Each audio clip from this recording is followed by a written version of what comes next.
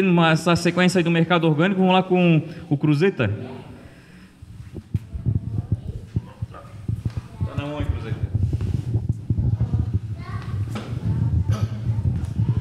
Uma boa noite a todos. Eu acredito que uma boa parte aqui me conheça, né? Eu sou um ex, um ex-orientador de fumo. Aqui em Pedras Grandes, em 1980, o melhor produtor que o Cruzeta tinha era o falecido Armando Damião Preve.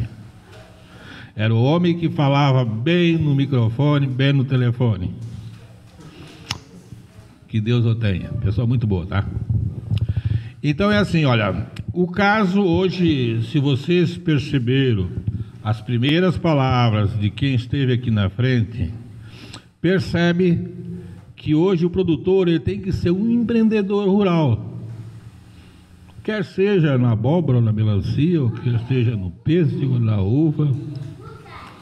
Então ele tem que administrar bem a mão de obra dele e os custos que mais ele vai investir.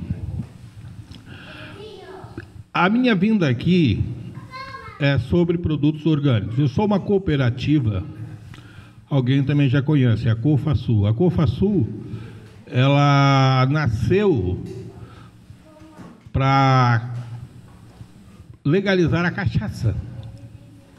Só que assim, né? Claro que a Cofasul tem a cachaça, tem o vinho, tem a uva, tem o suco, tem a farinha de milho, claro, ela trabalha também com os programas institucionais, inclusive aqui em Pedras Grandes. Então é assim, olha, hoje o mercado, a tendência da pequena propriedade em agregar valor é a produção orgânica. Por quê?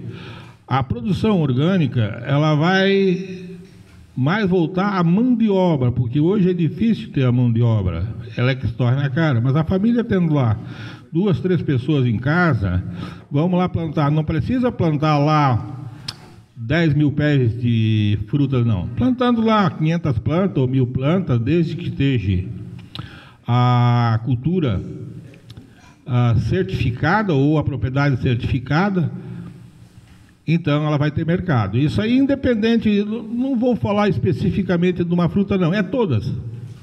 Todas que vocês produzirem, vocês vão achar mercado. Então, isso que é interessante. Agora, a Cofasul, hoje, no caso, a gente tem um empreendimento que ela é voltada a suco. Suco e chá. Hoje, a Cofasul tem nove produtos registrados, orgânico. Então, tem o suco de uva, o de maracujá, goiaba, pêssego, banana e assim por diante registrado hoje no mapa que a gente já está comercializando.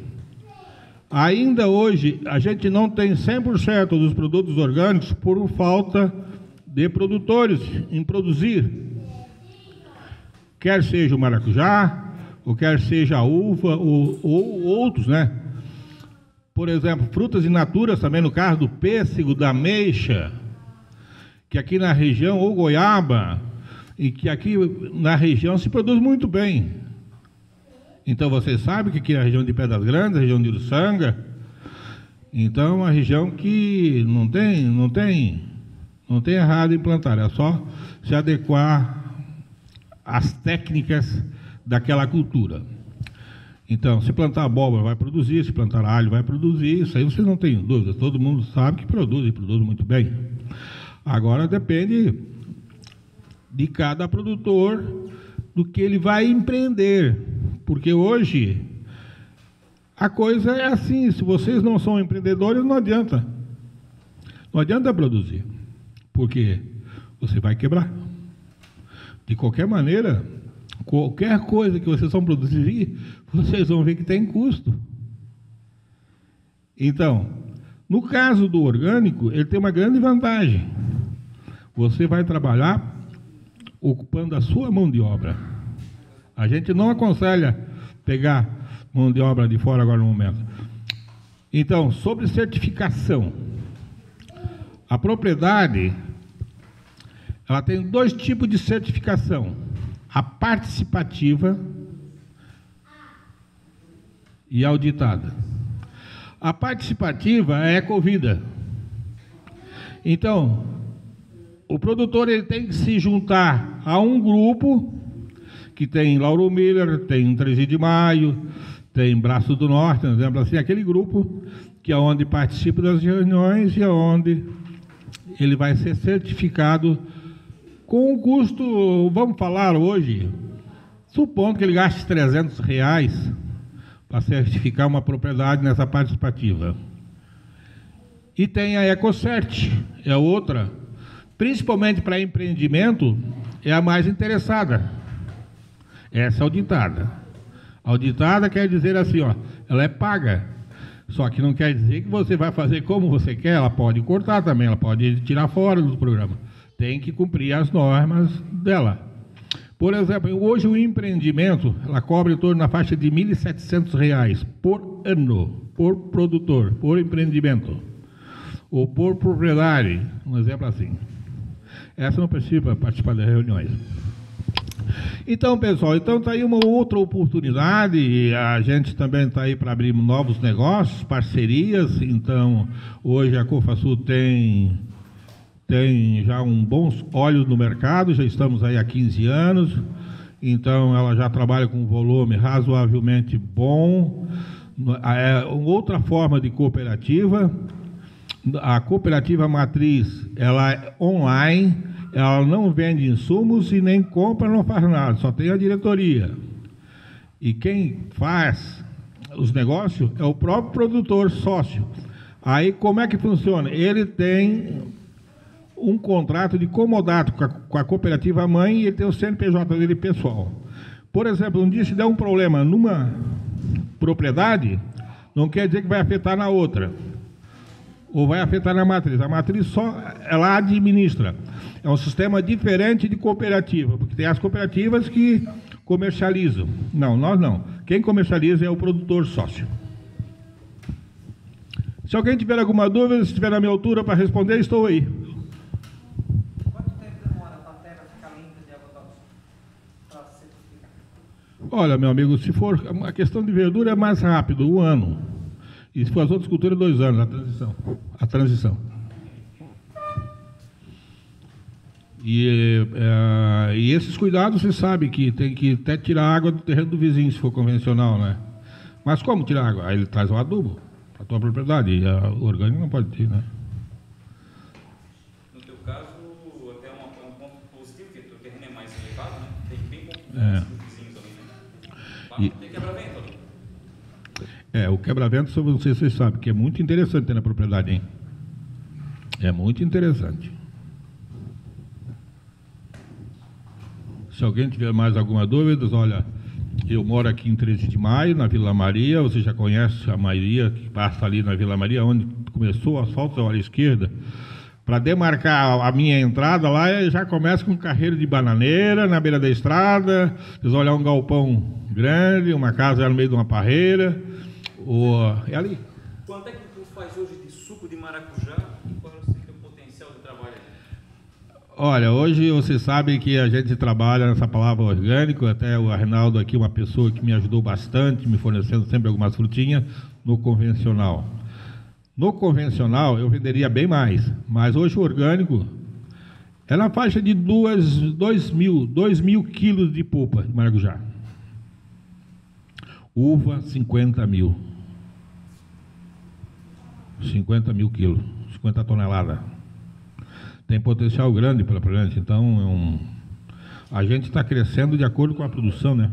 Não adianta. Se, se tiver uma produção maior, acabaria com é, mais investimento é. Exatamente. A cadeia produtiva, ela é, você sabe que ela tem que ter o começo, meio e fim, né? Não adianta a gente querer botar produzir se não tem para vender.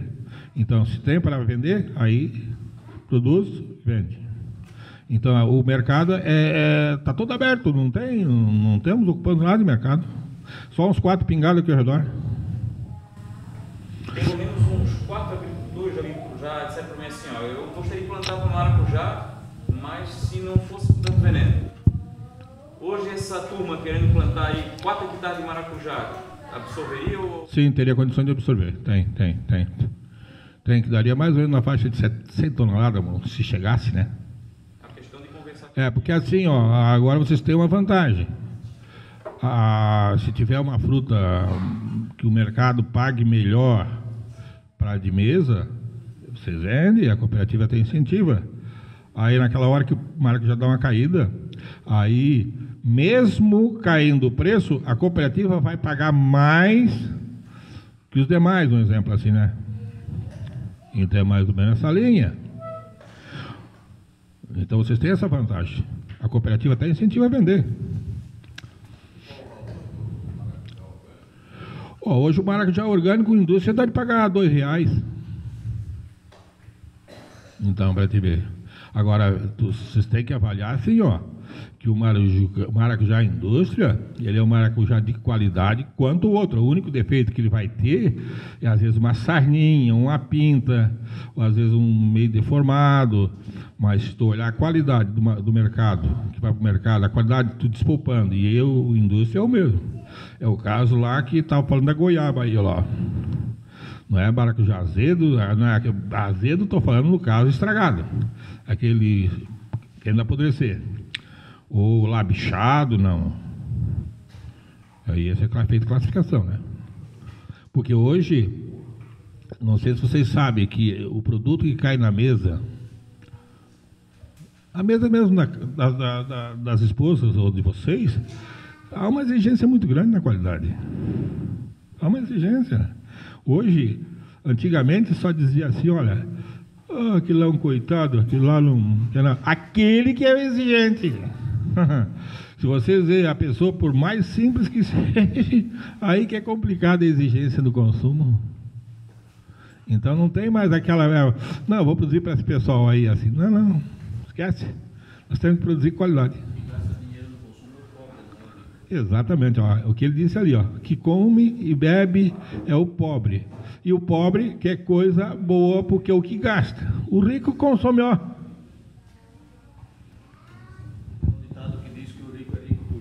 Tem um ditado que diz que o rico é rico por quê? Porque ele trabalha mais e economiza mais. Então ele não gasta. Na hora que vai no supermercado ele compra mais barato, na loja ele compra mais barato. É justamente por isso que ele não, a maior consumo no Brasil é a, a, população mais pobre. Gostei, gostei aí do senhor. Como é que é o nome mesmo? Júris. Jurides. Jurides. Então, olha, a gente também faz parcerias entre empresas, entre cooperativas também, né? Então, hoje o caminho é, é esse, é esta linha, né? não haver precedentes de concorrência, né? Sim, de parcerias. E aí nós temos que se ajudar também entre produtores, também a gente está aí para se ajudar, né? Sobre, sobre conhecimento, sobre a parte orgânica.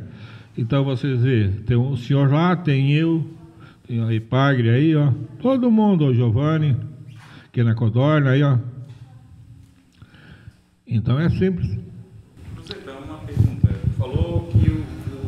o maracujá hoje, orgânico, indústria, pagando dois reais. É. Quanto é que pagou no ano passado? O mesmo preço. E isso é um ponto importante, porque a gente está pensando, pô, é dois reais, mas eu estou vendendo a dois e trinta hoje o, o, convencional. Não vale a pena entrar no orgânico, entre aspas, né? Mas vamos pensar bem, no ano passado era 1,30 o convencional. Então, na verdade, o, o que o Cruzeiro consegue disponibilizar para a gente, além de, de, poder produzir um, um, maracujá orgânico, é ter uma estabilidade de preço maior, porque ele tem um cliente dele que paga tanto na garrafa de, de suco, independente se o maracujá caiu a um real ou subiu a dois, ele vai pagar aquele tanto. Então ele mantém uma estabilidade e essa estabilidade de preço é muito mais importante do que a gente está navegando nessas ondas aí, né? É, uma, uma, coisa que vale lembrar, eu falei a dois reais a indústria, o maracujá é indústria, né? Aí tem aquele maracujá já classificado, esse ali já está na faixa de R$ 3,50, R$ reais, tá? Então nós uh, falamos indústria. Agora, aquele maracujá que tem mais qualidade, mas assim, meu preço chega até a dobrar. Agora, uma coisa posso te adiantar, eu conheço todas as propriedades da região aqui, eu conheço. Tanto o lado de Orleans como aqui o lado de Pedras Grandes, o lado de Uruçanga, conheço todas. Isso aí, todas as propriedades, o que colocar vai produzir. Pode ter certeza. É claro que o produtor ele vai fazer aquela produção dele, ou melhor ou pior, é aquele igual vocês que plantam fumam. Por que, que o vizinho produz assim e o outro produz assim? Não é diferente a fruta. Às vezes não é o solo, não. É aquela benzidinha que o produtor dá no dia a dia. Então vocês vê. Então, ó, tá aí a opção aí, ó, uva orgânica, pêssego, maracujá. Para quem quer trabalhar longe de veneno, esse é o caminho. Ok, pessoal, estamos aí. Qualquer coisa, Eusébio ou 13 de maio. Então, muito obrigado, Cruzeta. É, que eu acho mais importante assim do Cruzeta, além da, da parte do suco ali, é essa questão da cooperativa, que é uma oportunidade muito boa hoje de negócio. O produtor está isolado dos outros, né? então não tem perigo dele se enroscar porque está na cooperativa. Ele tem a possibilidade de criar a própria agroindústria e legalizar toda ela através da cooperativa, com um custo muito menor do que ele teria se fosse para ele ter um CNPJ próprio dele e abrir empresa. Ele continua preservando os direitos que ele tem como agricultor, na questão de aposentadoria e tudo mais. Então, assim, é, é fantástico e principalmente para aquele que produz um pouquinho de uma verdurinha, uma hortaliça, uma fruta e que quer acessar mercados, por exemplo, como da merenda escolar, alguma coisa assim, que é um mercado que paga bem, o canal está é, tá associado a uma cooperativa. Tem a cooperativa Cofaçudo, aqui de 13 de, 13 de maio, Uruçanga, com o, o Cruzeta e a turma dele lá. Tem aqui com o Alex, o pessoal do Autopedinho já estão se associando com a Cooper Azul em Tubarão. É, tem a cooperativa ali do, do, da região dos lagos, a Cooper Lagos. Então, tem muitas cooperativas aqui na região que trabalham nesse formato e é uma excelente oportunidade para vocês é, entrarem nesse mercado, né?